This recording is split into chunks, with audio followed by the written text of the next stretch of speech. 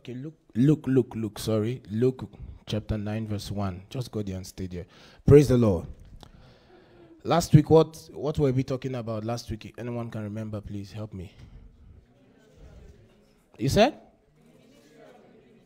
Hallelujah. Can you name any ministry of the minister you can remember? Anyone? Good tidings. What? Comfort. One, one, one, one, one, one. Let's do revision quickly, quickly, quickly, quickly. This side. Some people were in church last week. Said evangelism. Okay, they're in the spirit. Jesus. They can't even hear what I'm saying. The they're looking at me is like, who is asking you to talk to us? I'm not scared of your face. Choir, which sound? Which one? Which one? It's evangelism. Jesus. Someone was going to say Holy Spirit now. Everything that is spiritual. Broken hearted, okay. Meek and humble. Mm-hmm. This side. The captive is free. Huh? Demons? You said what?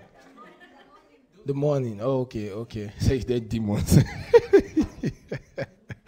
Praise the Lord. Amen. Uh, you see, some people don't know how to laugh. Oh. See, uh, tell your neighbor, I'm not the cause of your problem.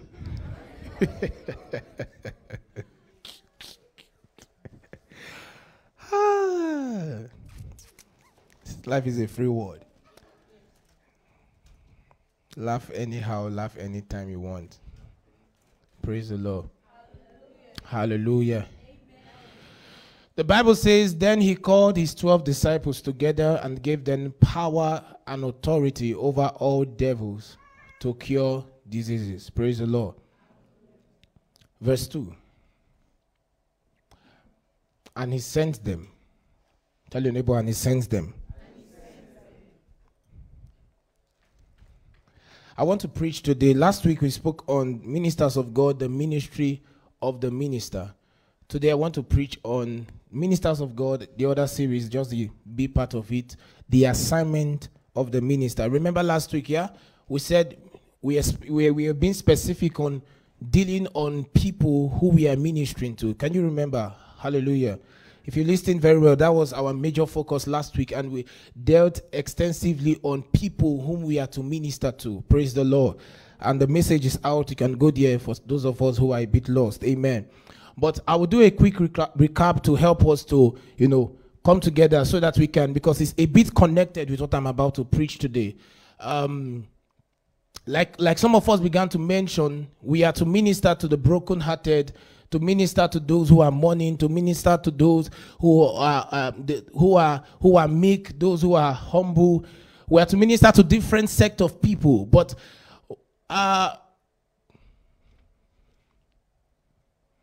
I found that from my observation that many people don't understand that they are actually ministers of God. Few understand that they are Christians. Few understand that they have a faith which they support and believe. But a lot of Christians don't understand that just coming into Christendom has made you a minister already. And last week, even last week, I began to speak on the fact that God has anointed you in Isaiah chapter 61, verse 1. And God has anointed you and ordained you. First of all, the Bible says to preach, but we are not going there yet. I, just want to stress the fact that as a called believer of God, if you have been called by God to serve Him, you are actually a minister. And the word minister is not really a big term, as though maybe it's something you are thinking. Uh, for you to be a minister, you have to be a pastor, or to be a bishop, or to be an apostle, or to be something in that rank, something connected with, you know, holding the mic and speaking to people. Uh, it's not all of that. There is a place for that, that, that assignment. But to be a minister simply means to serve. Pastor Dr. Gibson began to speak on um, um, the servanthood. And last week he also spoke about ministry you want to understand that for you to be a minister, you have to know how to serve. Tell your neighbor, for you to be a minister, you have to know how to serve. Ministering is simply service. To be a minister is as simple as saying to be a servant.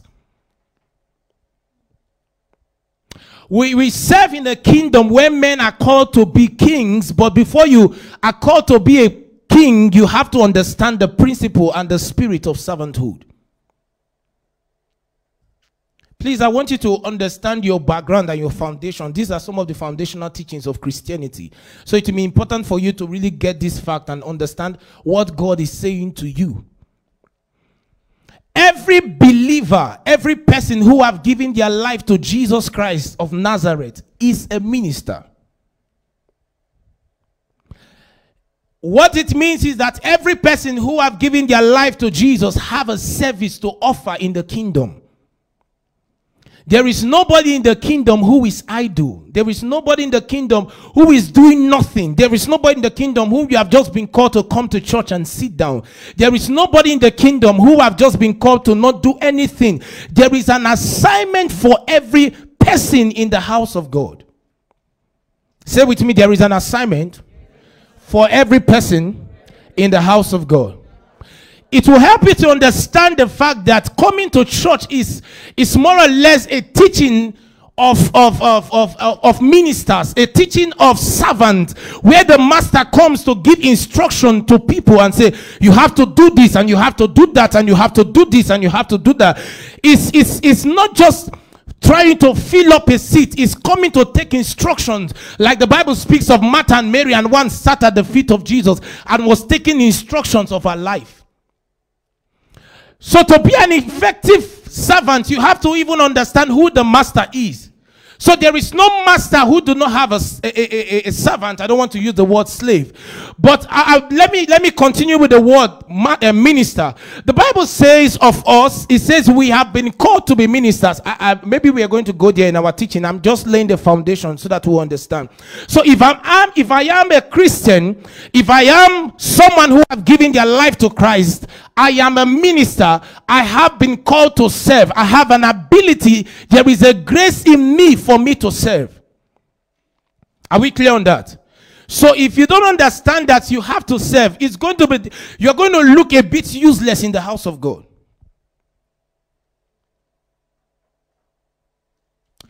Second Timothy, the Bible says that a man who is called, the Bible says God will purge him so that he will be useful for the master use. You can actually stay in God's house and become useless. I want to stress on the fact because there are some people that think, oh, um, I don't need to be in a department for me to be in a church. You know, I don't need to do anything. I can just be a visiting member or do something. Or, you know, I, I don't need to contribute my effort to the house of God. You know, it's, it's just me. I'm a, I'm a shy person. You know, I this kind of things they're, not for me. Some people have the talent. God has blessed them with grace, but they just be like, you know, um, I, I just want to stay low key. You can actually have the talent and be useless. Pastor I've said it this way that someone who, um, um, how, how did he say it again? A, a, a man who is hardworking will beat a man who is who has a talent and is not hardworking. I'm just trying to paraphrase it, but that's not the exact way he says.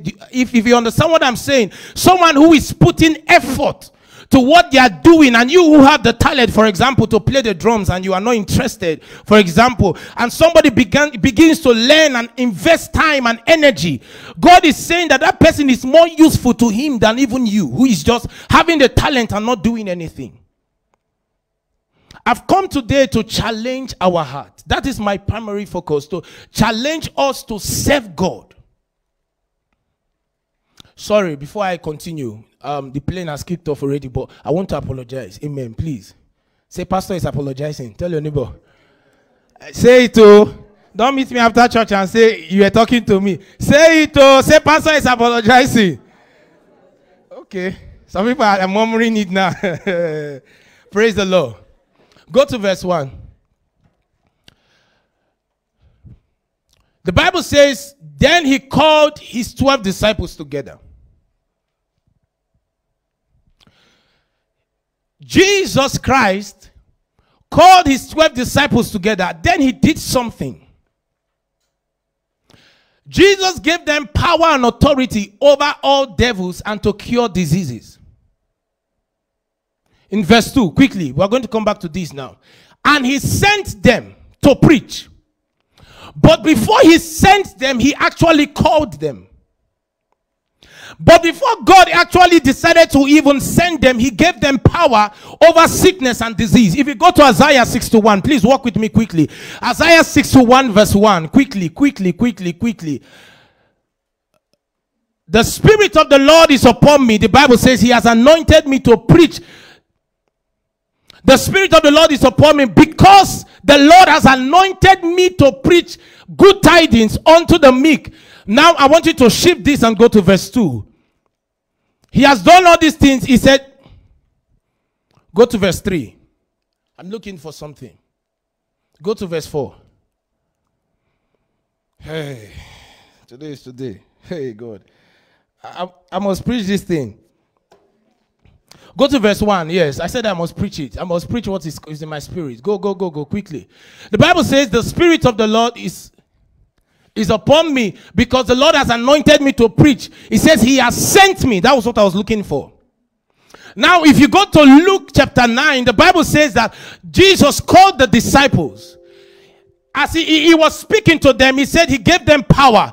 What the word was trying to say was that the Spirit of the Lord came upon them. There was an endowment of the Spirit of God to help them to cast out devils, to heal the sicknesses. But Jesus never sent them first because he understood that every assignment needs power. You need an ability. There, there, there's supposed to be a grace. There's supposed to be something God is supposed to endue you with. Never go out on an assignment without the power of God in you. You may have a calling of God upon your life. God would have said something. I want you to do this. I want you. This is my assignment for you. But you need an empowerment from the Spirit of God for you to get and embark on that as, uh, on that assignment. Jesus Christ was about to send them, but he said, I cannot send these people. He called them first of all, like he has called us to be Christians, but he did one more thing. He gave them power. A man who is just sent on an assignment without power will lack the ability to deliver that assignment. Even if you have the assignment, you need power behind the assignment. There are a lot of obstacles to stop you from ministering to God. The Bible says in the New Testament, it says, Let he that minister minister with the ability that God has given him. In other words, with the power which God has given him.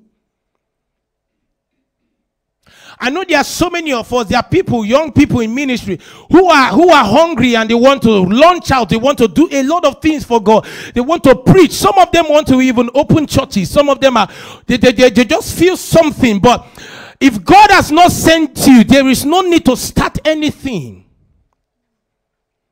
Wait until God send you before you can actually embark on, on any other assignment. If God is sending you, He's going to give you power to do what He has sent you. Say hallelujah. Listen to me. If you are, if you have an assignment over your life, if you have something you know God has called you to do, God will first give you the power before He sends you. Remember last week we were speaking about the people whom God we are going to was going to send you to. But today I'm not concerned about the people whom I'm sending you to. I'm concerned about the assignment, the thing what God is, is, is trying to do in your life. But before God even send you to those people, He's going to first of all call you to Himself. God is going to now give you power over devils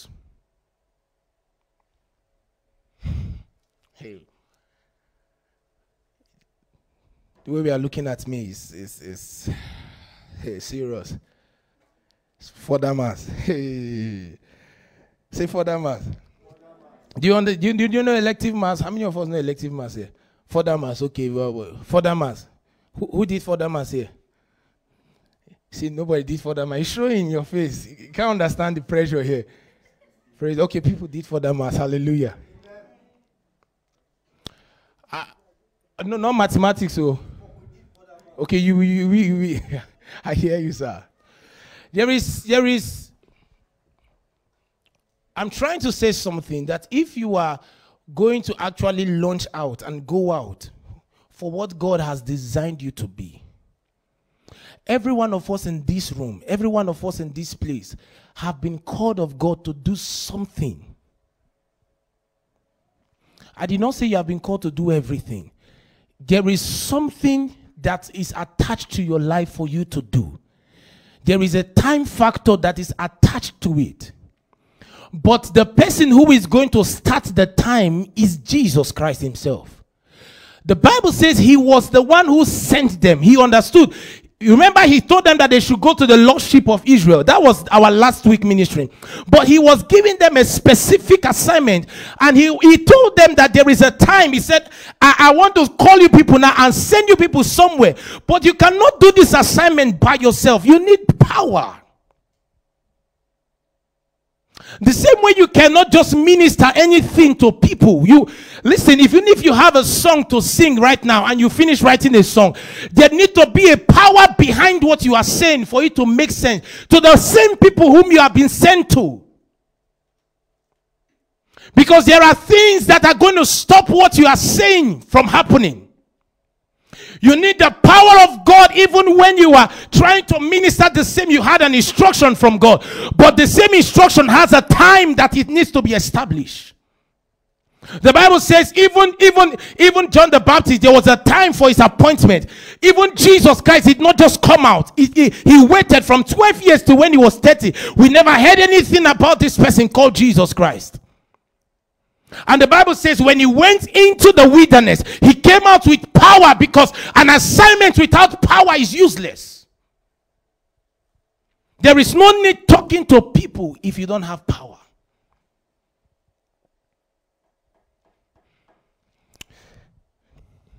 Praise the Lord.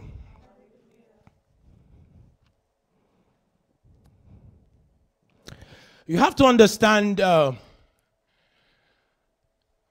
quickly, I want us to not just go there, but I want to say something in five minutes. That there is a level of preparation as a minister you have to embark on. Say, level of preparation. If you are a minister of God, we are going to go to um, prepare Exodus 28, verse 35 for me.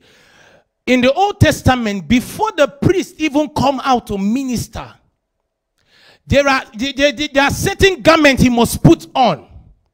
You don't just rush out and do anything for God. I, I'm, I'm really against the fact that you just do anything and fix it into the spirit and think that uh, because I'm doing it, God has to be involved in it. You can be working for God and God has sacked you. Let me give you a scripture proof. The Bible says those people that will come and, and, and they will say, Lord, Lord, we actually healed in your name. We actually did things in your name, and Jesus Christ will say, Depart from me. I do not know you, but they actually worked for him, and he did not sack them. So there is a modus operandi to work for God. God, this is the highest assignment on the planet Earth, the ministers of God. For you to be a minister is big deal. It's bigger than anything you can think about. It's bigger than being a president. You are working for Jesus. Just being an usher alone is bigger than being a president of a country in the eyes of God. I'm telling you.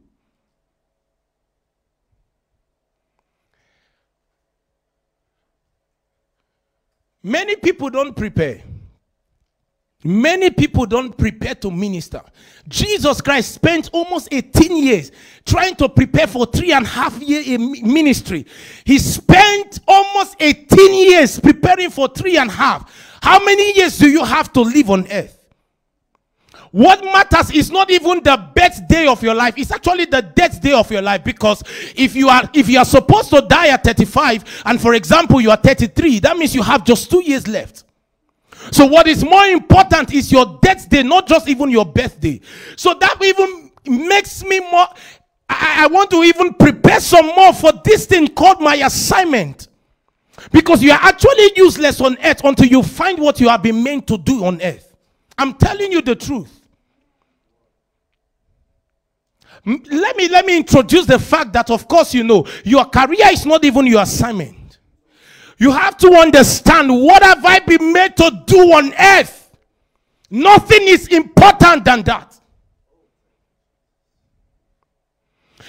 A man is a walking corpse until he finds the reason for his existence.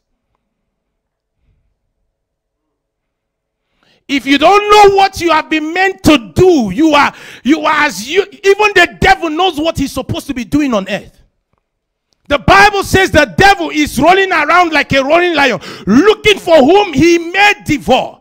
He has an assignment to devour people. Waking up in the morning and sleeping at night is not an assignment. Ah, if you, of course, of course, of course, we are all young here. But you must understand that if you are, if you are, if you are, if you are destined for greatness and you want to live among the great in your time and your generation, remember if God be, and God will be, of course, the Bible says that we are going to actually live long. He promises us long life. So I'm not even saying that you're going to die early. What happens when you are 50 and 40 and 60? Would there be a regret and you are still searching for your assignment?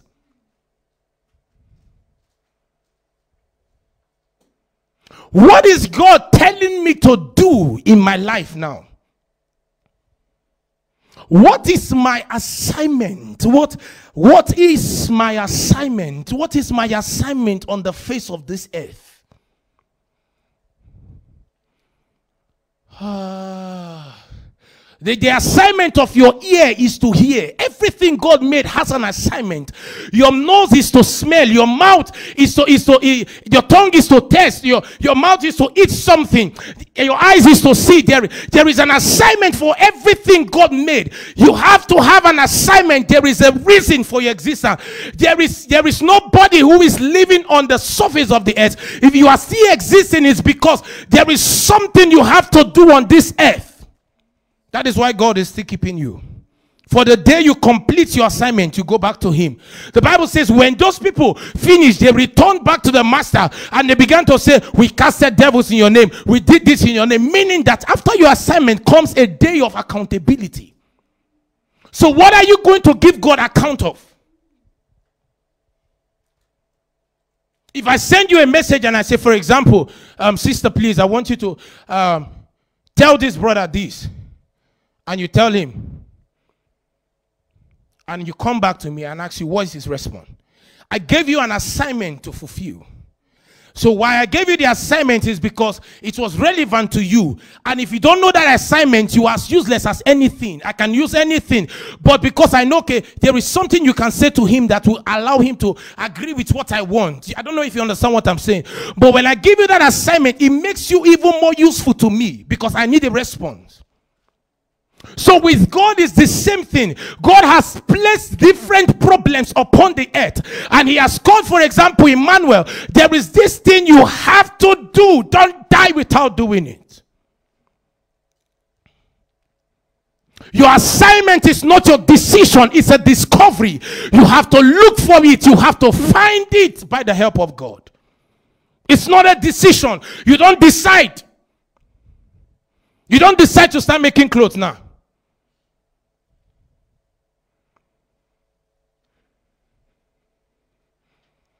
It's a discovery. It's, it's God's plan that will make man to reconcile back to his creator. Because only him knows the, the, the, the, platform of your life. Only him understands what you are supposed to do.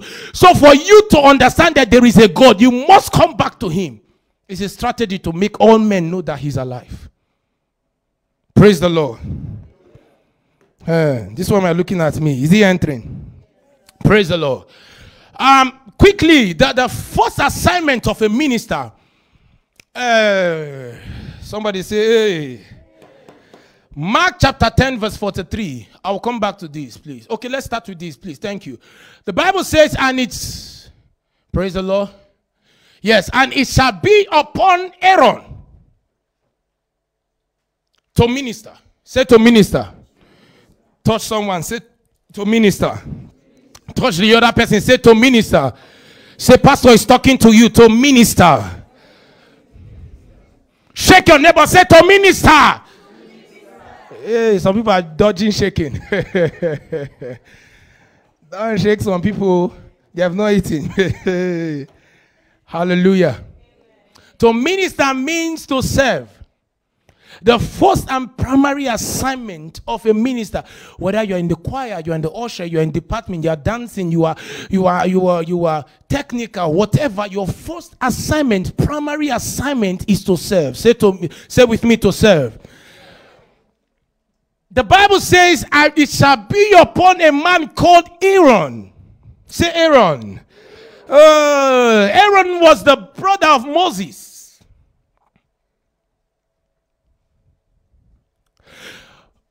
And remember that the brother of Moses, God was speaking to Moses and said, This person by your side is going to be your mouthpiece. Do you remember? Hey. Hey. Some things are really interesting. If you are going to I'm telling you the truth. If you're going to go find life,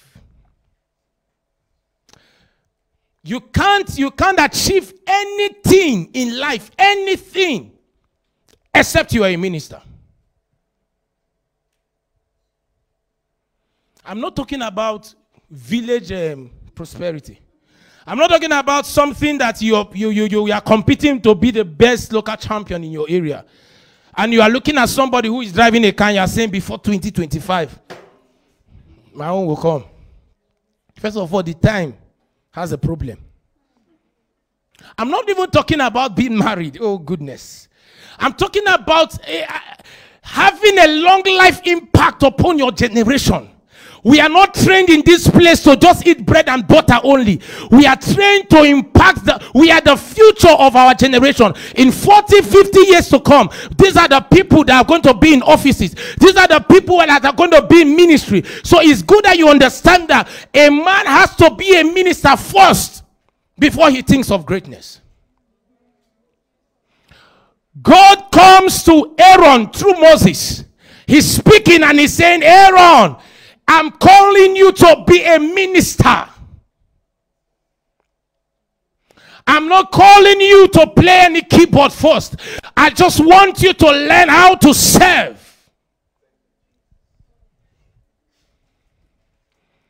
A man or a woman who enters marriage and do not know and understand ministering and being a minister will suffer. It's popularly said that pride goes before what? Listen to me, listen to me, listen, listen, and listen very well.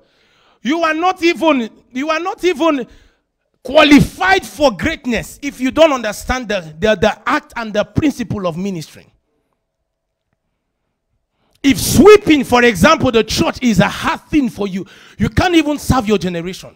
You can't even serve your nation, whatever nation you are from. If it's too big for you, if you see an assignment God is giving to you as ah, I mean, it, this is this is this is not me now. I'm supposed to be in something. I'm supposed to be leading something. If you don't find a place to serve, the Bible speaks of people in Acts. It says the disciples separated themselves. The Bible says they wanted to minister in the word and in prayer, and it says, "I want I want you to set men to minister to tables." In other words, I want you to give us ushers ushers, people that will minister, that will serve food, is in the Bible in Acts. And the people that will serve food, the Bible says one of the criteria, like Pastor Gibson was speaking, qualities of a ready minister, you have to have the Holy Spirit. It's interesting how God is detailed on how you must serve Him. Listen to me, God is a king. If you go to a palace, for example, if you have ever been to any palace in your life, you understand that the kings, they don't just serve them anything. Where I grew up from, for example, the old emir, if, when he tries to spit out, you will see a man will come and put his hand like this for you to, he doesn't spit on the ground. This is a man that his flesh is even dead right now. His flesh and blood, though. He can't spit on the ground. You have to put your hand and he will spit. I didn't you. If you don't do it, maybe you won't, he, he won't live longer than you, sir. Once you do, oh, you see them. And he's spitting on your hand. Ah, you're wondering. He's a man like you. If you try to spit now, you're hey, stop.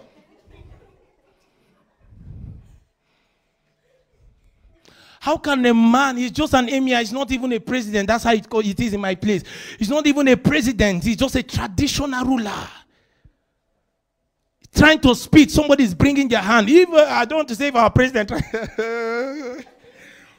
I'm sorry, Lord. Jesus, I can't preach again. People are laughing.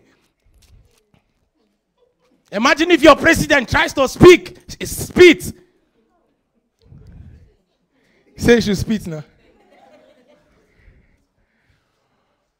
I'm using that as an example of honor. Men ready to serve. You are not even, see, some people are serving because they want to become leaders. It's not even a right motive to serve God. Promotion doesn't come from the east or the west. It's God that looks at a man's heart. He looked at Samuel. He looked at Saul. He told Samuel, I've rejected this guy. I look at the heart, I'm seeing the motive of his service. The way you are trying to bring it. God is looking at how inside. That is why you see somebody, people will ask questions. Oh, but this guy have been coming to church now. What happened to him? Ah, this sister, this sister. I know her now. And you wonder, is it that God is unfaithful? Is it that God is this? What happened to this? There was a revelation. Samuel could not see the heart of Saul. He could not. That alone should tell you the supremacy of God. That God can look at a man's heart and judge his qualification if he's due for promotion. But before you enter the place where you are even due for promotion, you must serve. Big boy and big girl, God doesn't even recognize, He doesn't even know who is big and who is not big. In His eye, until you are faithful to His task, you are not even close to being a favorite. Listen to me and learn the qualities of an effective minister. You have to. Aaron is calling Aaron. Aaron already is a Christian if we use him in the modern days. But he said, I want you to serve. But before Aaron, like I was saying, we even go into the Holy of Holies. The Bible says he has to put on garments, he has to be prepared. Preparation is not just a, a, a one time thing, it's a daily thing. If you are in a choir, for example, I'm speaking to our choristers and your ministers. Listen, you are speaking about Aaron. The Bible says Aaron and his sound. Aaron has the hardest sound. Aaron's assignment was to speak on behalf of Moses. The only thing he could, he was, God called him, he says, be a mouthpiece. That's all. Aaron had the sound. God recognized that Aaron had the voice. The same way you say Elijah, God is recognizing that this guy has a, a sound for this. When Elijah is playing, God can tell this is this is this is him.